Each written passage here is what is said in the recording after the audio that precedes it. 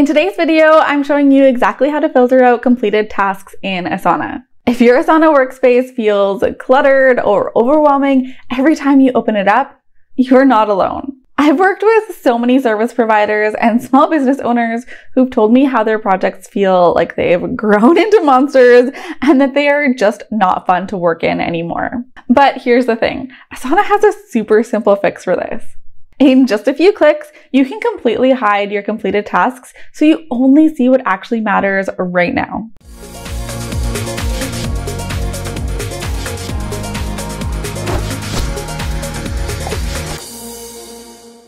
Hi, I'm Samantha, here to help online coaches, freelancers, and other small service based entrepreneurs organize and streamline their business operations so that they can save time and mental energy and focus on what they love to do.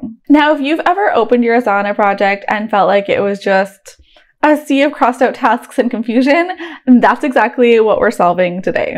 Okay, quick question for you before we dive in. Do you currently mark tasks as complete and just leave them sitting there? Or do you archive them, delete them, filter them out? Let me know in the comments how you've been managing completed tasks in Asana and if today's tip is new for you. Okay, let's get into the how to. So you can set a filter uh, so that it hides all of your completed tasks and only shows the tasks that are incomplete and need to be done. So this helps to reduce clutter and overwhelm. Um, so here is how you do that. You'll see this filter option up here, and then you just click quick filters, incomplete tasks, and then you'll see those those completed tasks disappear, and you're only left with the tasks that still need to be completed. And you can get rid of this anytime by clicking this X here, and then they show back up. You can do the same thing in My Tasks, just change the view to incomplete and save it. Small tweaks like this are what make your systems work for you, not against you. If this tip helped you, you're going to love Asana Essentials, my signature toolkit with templates, trainings, and workflows that save you hours each week.